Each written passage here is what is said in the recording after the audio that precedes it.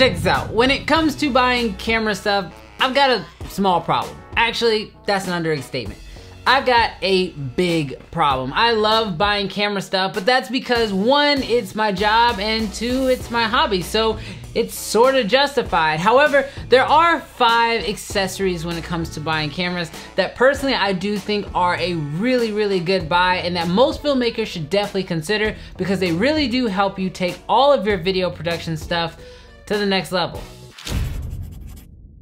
What's good creative fan, Brandon Washington here, and in today's video we are taking a look at my top five favorite camera accessories. Now, these are not just camera accessories that I think are good to have, but these are camera accessories that I think are necessities to have. The main reason why I picked these five accessories is because they're not just something that I recently put in my kit, but these are things that have been in my kit for a really long time and in my opinion have made the biggest difference. One of the biggest differences being that they are not things that I consistently upgrade. Sure, you upgrade cameras pretty often, maybe gimbals pretty often, but these are accessories that I think that if you are someone who is either an aspiring creative, like professional, or if you're even just trying to create content on social media, or maybe you're even trying to make your own narrative films, these are five accessories that I think that will really make a big difference in your overall creative journey.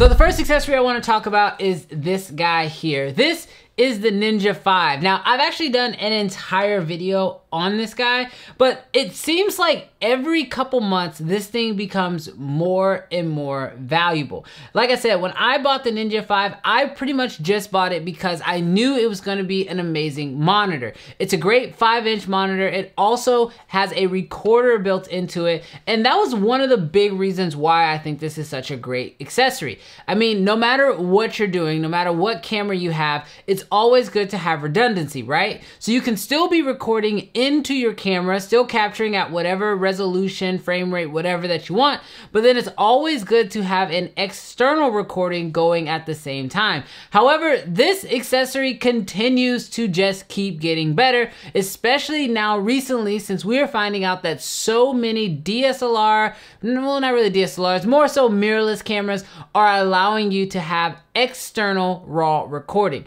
I mean, this thing's value is more than doubling with the fact of now if I'm using a camera like the Panasonic S5 or even the Sony a7S III, they are allowing you to have external ProRes RAW options. It's very rare that you have a piece of gear like this where you bought it for one price for a certain amount of value, but then they just keep giving you more and more value without having to actually spend any more money. I mean, now I have a device that not only is still a great monitor, still has a great recording option, but now it's giving me the option of RAW with a lot of the cameras that I film with. Of course, I'll have links down below to all these accessories that I'm talking about, but if you are in the market for a really solid monitor that's not only gonna stand the test of time, but that's also continuously giving you more and more value, this is definitely the one I would recommend.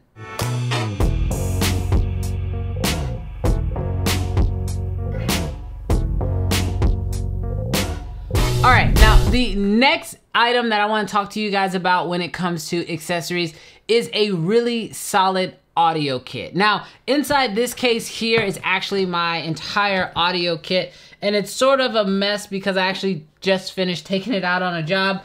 But the accessory that I really wanna talk to you guys about is something like this. This is a lavalier kit. Now, I am personally a huge fan of lavalier mics. I think that every filmmaker should have a good set of lavalier mics, ones that you're very comfortable with, you know how they work and you know how to use them, but also because this is one of the easiest ways to get high quality audio. Now, I'm gonna be 100% honest with you. These Sennheiser microphones that I recently picked up have been my dream mics for the longest, but these are not the only microphones you have to actually go with.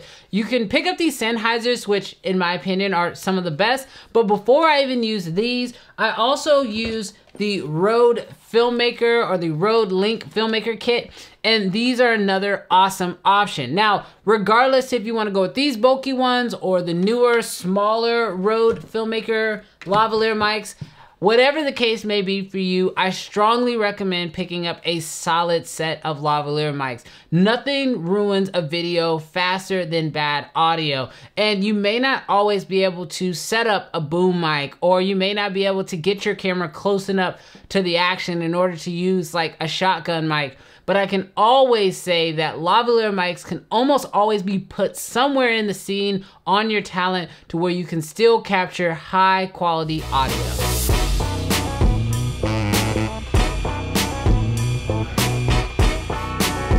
Now the next piece of gear that I want to talk about kind of dives into a little bit on the editing side front, and that is picking up really fast SSDs for editing purposes. Now, I love editing off of SSDs. However, I do know that these things are very expensive. And so hear me out very carefully.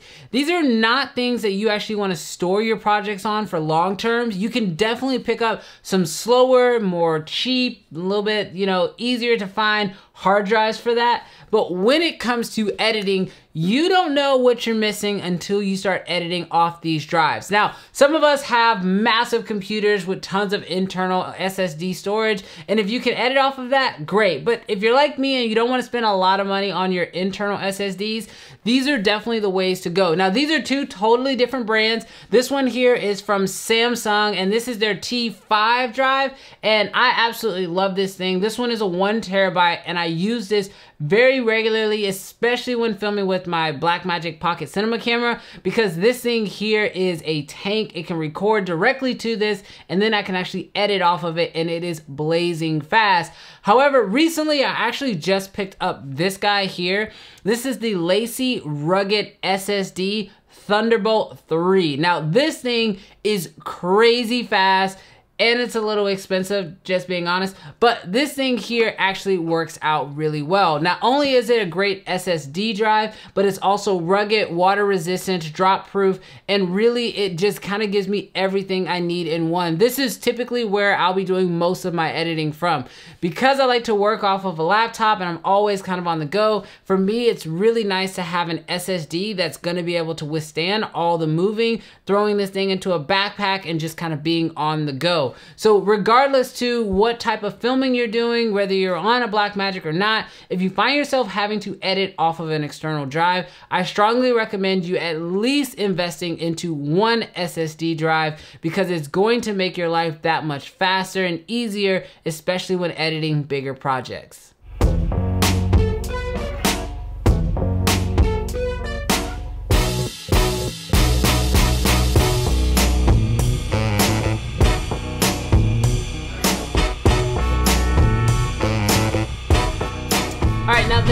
Accessory I want to talk about is actually this guy right here. This is a monopod. Now, this specific one is actually made by a company called iFootage, and they call this the Cobra 2 C182.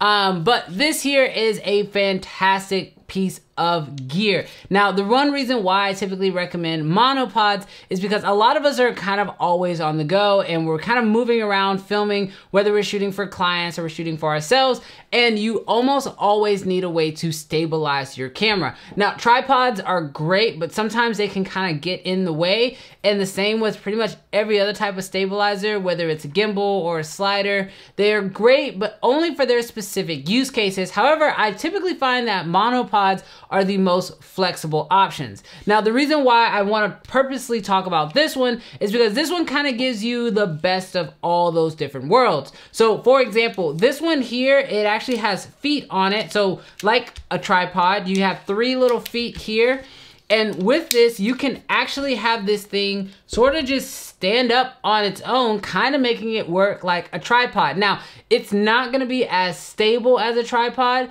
but if you wanna be able to slap your camera on there and kind of take your hands off for a second, you can absolutely do that and still get a great shot. Now, the other thing that I like about this is it does have these really cool little clasps. So just like a tripod, you can make everything get taller.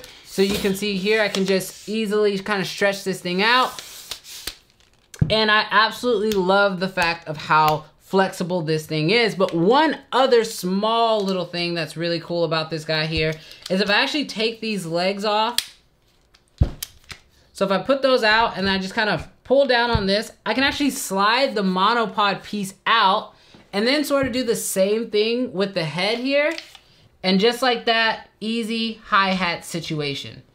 So you can see that now I've got this little hi-hat or mini tripod set up. So if you want to get some low angle shots, you can do this. And all this is capable with this one simple little setup. I mean, when it comes to having gear that's going to work with you long term and that it's very versatile, I love having a really good monopod and something like this can really help you go a long way.